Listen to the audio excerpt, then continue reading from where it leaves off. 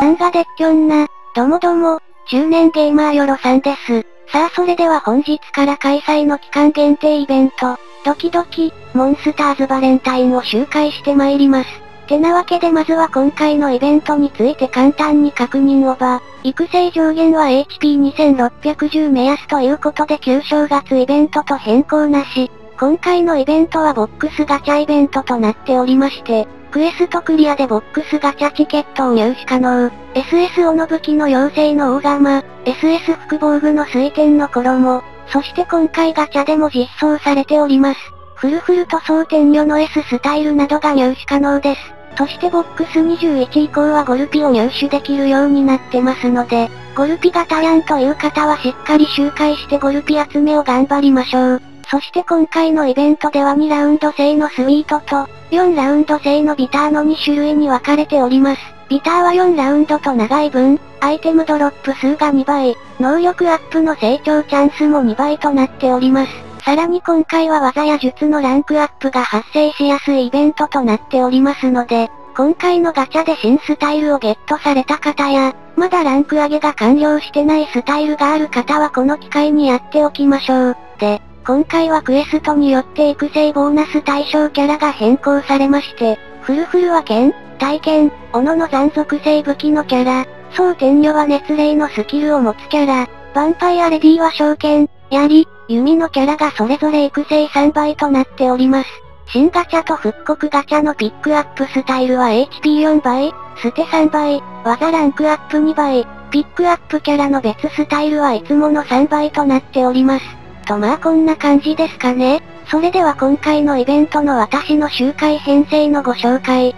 今回のイベントはフルフル、総天女、ヴァンパイアレディの3クエストがスイートとビターで1つずつ、なんとたったの6クエストしかございません。イベントでもらえるジュエルはなんと300ジュエル。念のためボックスガチャの中身も確認しましたが報酬でジュエルはナッシング。コストの問題でクエストの数も削られたってことなんですかね世知辛い世の中ですなぁまあそんな話は置いといて、まずはフルフルから参りましょう。こちらのクエストで出現する敵の弱点は残のみとなっております。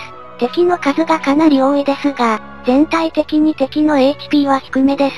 そしてフルフル以外の敵は気絶耐性が例となっておりますので、今回気絶を使った周回が可能でございます。それではフルフルビターの私の周回編成のご紹介。人形は Amazon ストライク会、配置はこんな感じです。アルベルトとエレンの2名で引率、他3名が育成枠となっております。1番にアルベルト、ステータスと装備はこんな感じです。連星装備のアビリティは108%となっております。王者の剣を継承、4ターン連続王者の剣を連打するだけの簡単なお仕事です。2番にエレン、ステータスと装備はこんな感じです。連星装備のアビリティは106%プラス特攻となっております。巻き割りダイナミックプラスを継承、フルフルへの火力要因として採用しております。ここは残の単体火力が出せるスタイルなら大体誰でも OK です。ではでは、以上のメンバーで行って参ります。行くぞー。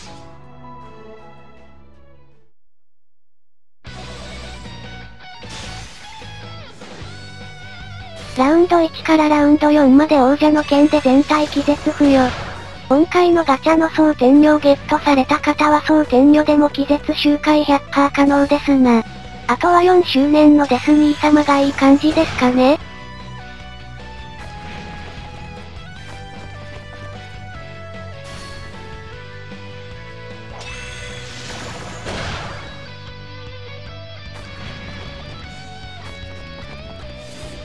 フルフルだけは気絶付与できないので、アルベルトで削ってからの巻き割りダイナミックプラスで終了です。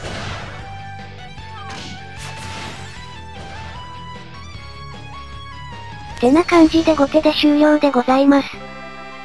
続きまして総天呼びター。こちらのクエストの敵の弱点は全員通して例の通りが良くなってます。そして全ラウンド敵が横に並んで登場ですので、横一列の範囲攻撃ができるスタイルがいると周回しやすい感じですな。それでは総天呼びターの私の周回編成のご紹介。人形はマギアファイト、配置はこんな感じです。グレイ、ゲンちゃんの2名で引率、他3名が育成枠となっております。1番にグレー、ステータスと装備はこんな感じです。連星装備のアビリティは108%となっております。ラウンド1、ラウンド3、ラウンド4の横一列火力として採用しております。5番にゲンちゃん、ステータスと装備はこんな感じです。強く武器の陣雷風列を装備しております。ラウンド2の全体火力として採用しております。こちらはラウンド2をワンパンできるダレイのスタイルなら誰でも OK です。ではでは、以上のメンバーで行ってまいります。行くぞー。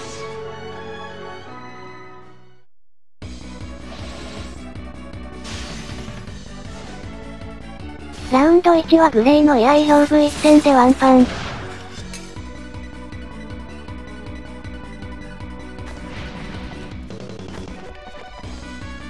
ラウンド2はゲンちゃんの冷尺消火砲でワンパン。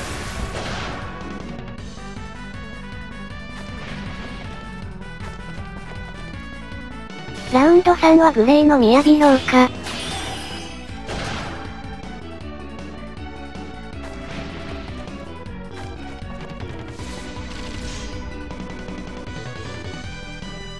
最後はグレーのエアイローブ一戦で終了です。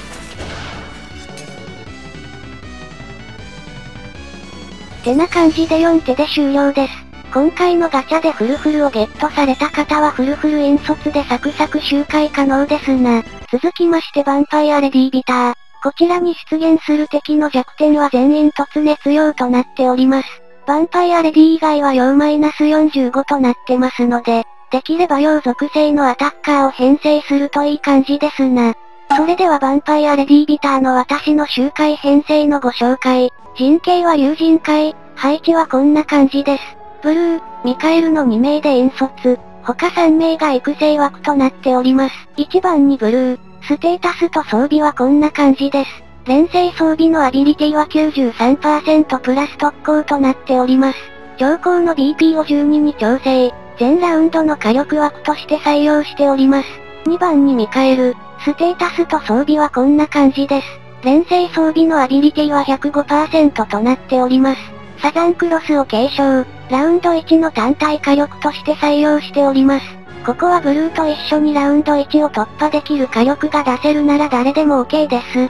ではでは、以上のメンバーで行ってまいります。行くぞー。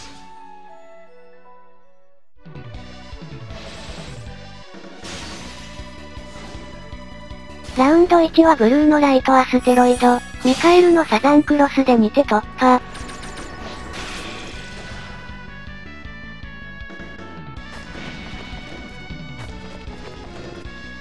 ラウンド2はブルーのライトアステロイドでワンパン。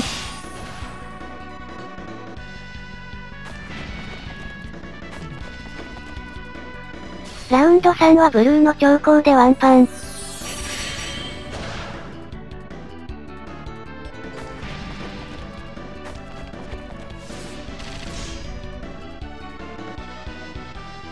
最後はブルーのライトアステロイドで終了です。てな感じで後手で終了でございます。というのが今回のイベントのビターの私の周回編成でございました。続きまして2ラウンドのスイートの方ですが、こちらも基本的にビターと同じ編成で周回することができます。というわけでまずはフルフルスイート。編成はフルフルビターと全く同じですので説明割愛。ではでは、以上のメンバーで行ってまいります。行くぞー。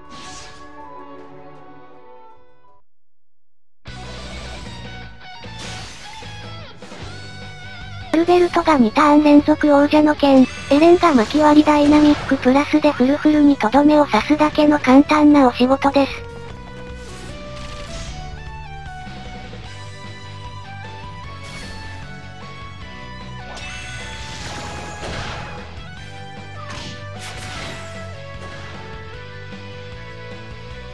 てな感じで3手で終了でございます。続きまして総天女スイート。こちらも編成は総天女ビターと同じですが、玄ちゃんの冷尺消火砲をラウンド1でぶっ破できるようにしております。ではでは、以上のメンバーで行ってまいります。行くぞー。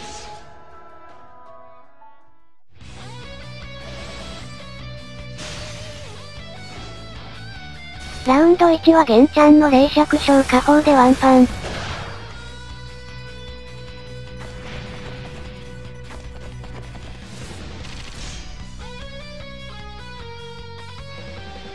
ラウンド2はグレイのエアイローブ一戦で終了です。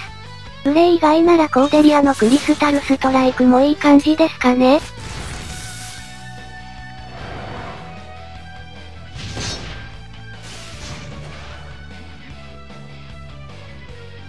てな感じで2手で終了でございます。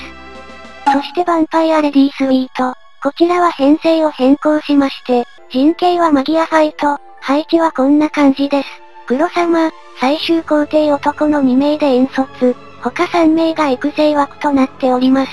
1番に黒様、ステータスと装備はこんな感じです。連星装備のアビリティは103%プラス特攻となっております。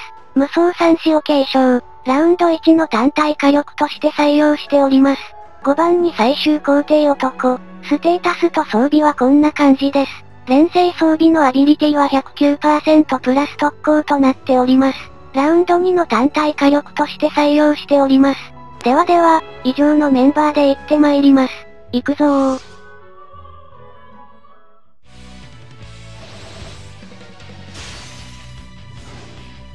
ラウンド1は黒様の無双三子でワンパン。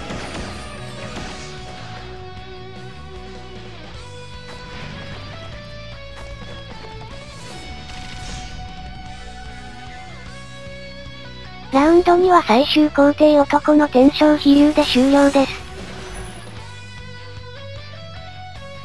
てな感じで2手で終了でございます。それでは最後に睡眠中や仕事中に自動再選チケットを使って、ダラダラランク上げがしたいという方のためのまったりランク上げ編成のご紹介。今回、ランク上げで使いますクエストはフルフル塗装店よ。ヴァンパイアレディでもスタンでいけますがとりあえずはこの2つをご紹介。で、フルフルで登場する敵は全員揃ってスタン、未了、石化の耐性がガバガバでございます。とりあえずコンスタントにスタン、未了を付与できるスタイルを使って周回するのが良さげですな。というわけでこちらが私のフルフルランク上げパーティー。人形はマギアファイト。ここ最近ランク上げで大活躍のウルロワさんに今回もお願いしてまいります。1番にオルロワさん、ステータスと装備はこんな感じです。連星装備のアビリティは81%となっております。支援の BP を6に調整、毎ターン支援を連打するだけの簡単なお仕事です。他のメンツは技ランク上げがしたいスタイルを編成してくださいませ。ではでは、以上のメンバーで行ってまいります。行くぞー。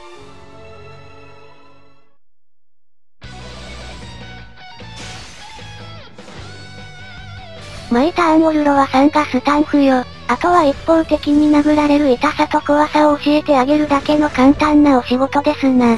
スタン役ならマイターンスウィングプラス連打できるスタイルでもいいですし、未了が通るので去年のバレンタイン西王様がいれば未了付与して安定周回もいけますな。他になんか良さそうなんいましたっけ？よろしければコメント欄にて教えていただけるとこれ幸いでございます。あと、先ほども申しましたがスタンならヴァンパイアレディの方もランク上げ周回可能ですので、どちらを回るかはランク上げするスタイルで決めていただければ良いかと存じます。では特に話すこともないので加速。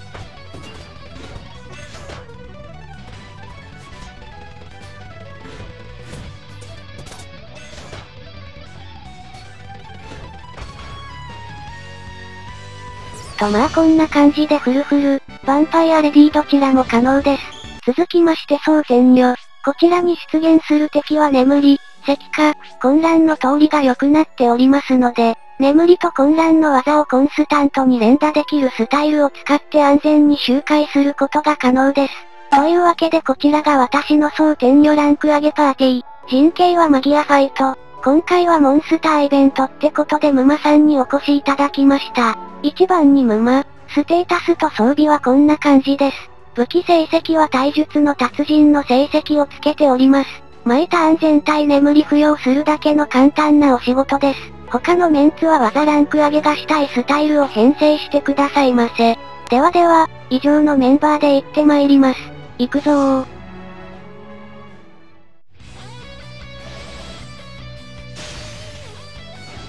マイターン沼が眠り不よ。あとは一方的に殴られる痛さと怖さを、教えてあげるだけの簡単なお仕事ですな。新ガチャで総天領ゲットした方は全体混乱不要で引率にも使えます。